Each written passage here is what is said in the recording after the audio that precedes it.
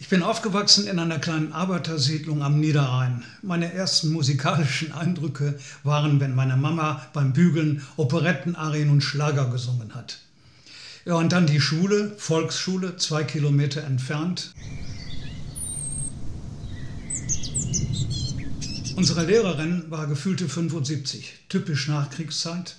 Sie trug einen Dutt, eine weiße Bluse, gestärkt und einen langen Plissé-Rock bis an die Knöchel.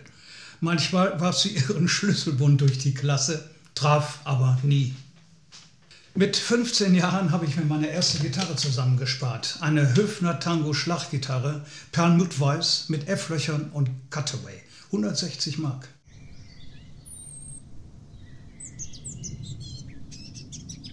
Damit habe ich dann meine Lieder am Lagerfeuer begleitet. Und dann wollte ich auch mal in einer Beatband spielen. Die hieß The Savages. Ich wurde abgelehnt. Deine Stimme ist viel zu schön. also 1972 bin ich ausgezogen aus Mamas Hotel nach Krefeld und hörte dort in einer Studentenkneipe die whisky-geschwängerte Stimme von Ronnie Drew.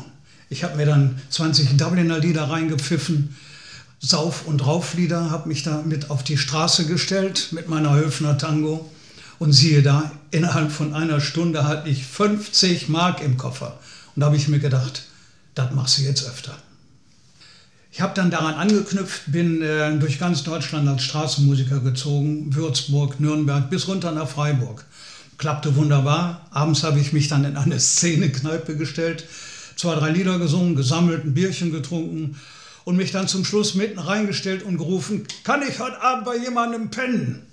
Es hat sich immer jemand gefunden. Nach der Straßenmusik in den frühen 1980er Jahren kamen die Literaturprogramme. Eines, zwei, drei und immer mehr. Hab dann auch in den 90er Jahren des Öfteren mit Hans-Dieter Hüsch auf der Bühne gestanden. Ein ganz wunderbarer Mensch, immer wertschätzend. Und in mein Liederbuch hat er zum Schluss geschrieben, Niederrhein ist überall, Gruß und Dank an Günter Gall.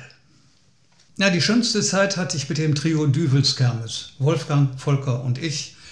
Und eine nette Anekdote. Wir waren irgendwo in Süddeutschland unterwegs, war schon Viertel nach sieben, acht Uhr sollten wir auftreten, waren noch 30 Kilometer. Und dann flog uns von dem alten Polizeibus, dreieinhalb Tonnen schwer, das linke Hinterrad weg. Wir haben es so schnell wie möglich wieder dran geschraubt, kamen dann fünf vor acht bei der Auftrittsstätte an.